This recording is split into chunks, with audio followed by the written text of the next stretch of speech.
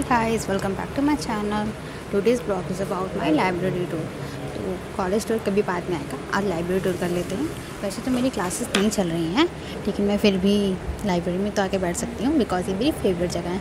तो आज आपको ना लाइब्रेरी टूर कराते हैं। और मैं बहुत देरी बोल रही हूँ क्योंकि यहाँ पे सब लोग पढ़ाई कर रहे हैं। सो so, चलते हैं। यहाँ पे बैठे हुए थे। यहाँ पे। और अब चलते हैं थोड़ा पहाड़ के साइड।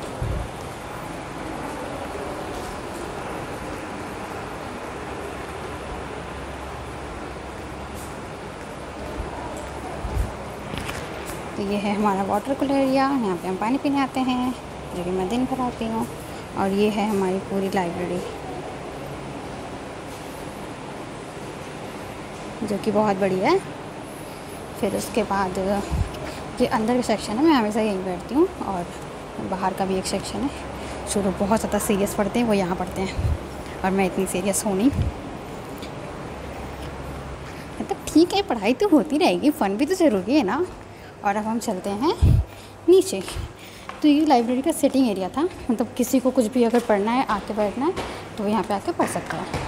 और बाकी जो मेन लाइब्रेरी होती है, जहाँ पे बुक्स वगैरह होती हैं तो नीचे। जो कि है। तो यहाँ पे ऑफ़िस है। ये पूरी ऑफ़िस रही, लॉबी एरिया। किसी को भी बुक्स लेनी होती है तो वो यहाँ पे आके लेता है। तो मैं भी मतलब ऊपर से बाहर आ गई, क्योंकि किसी भी चीज़ की मतलब सूट करना है तो फिर बाहर से दिखाना पड़ेगा ना कि क्या क्या है। इसलिए ये हमारा कॉलेज का पार्क है, जिसका भी रेनोवेशन हो रहा है। तो हम इसमें जा नहीं सकते और इसके जस्ट से सामने है हमारी लाइब्रेरी ये पूरी यहाँ से गेट से एंटर करते हैं।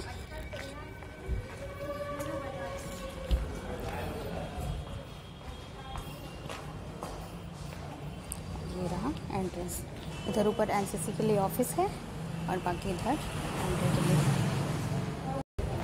तो हम यहाँ से अंदर आए हुए थे और फिर यही same office area lobby area और ये स्टेयर्स ऊपर जाने के लिए। तो हम आपसे मिलते हैं ऊपर। हाँ तो मैं दोबारा अंदर आ गई, क्योंकि बैग वगैरह यही छोड़ के गई थी तो टेंशन लगा था कि सारा सामान ऊपर ही है। और, बस, ऐसे तो ये पूरी फिल होती है मतलब पूरी बैठने की भी जगह नहीं होती। और जहाँ मैं बैठी वो मेरी फेवरेट जगह है। क्यों है? दिखाती हूँ। क्योंकि यहाँ का फ़ैन सबसे तेज़ चलता है।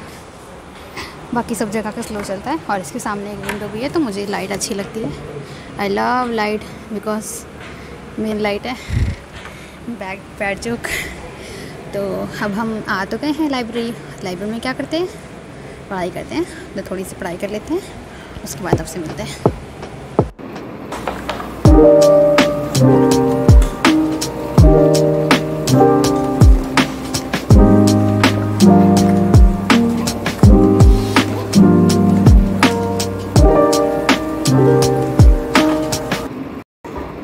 जैसा कि मैंने कहा कि पढ़ाई करते हैं, बट मुझे रियलाइज़ हुआ कि मैं तो कोई कॉपी ही नहीं लेके आई हूँ। ये क्लासेस नहीं चल रही हैं। तो अब क्या करते हैं? ऑनलाइन तो पढ़ाई की जा सकती है। तो थोड़ी सी वीडियोस वगैरह देखते हैं ऑनलाइन पढ़ते हैं और मैं सूट तो कर नहीं सकती, इसीलिए आप में मिलते हैं। तो हो गई थोड़ी टाइम पास वाली पढ़ाई। रियलिटी बताएँ तो दस पंद्रह मिनट भी नहीं हुई। और भूख लग गई। ये दिवाली की बची हुई मिठाई है। बची हुई मतलब मैंने इतनी बचा के रखी थी खाने के लिए।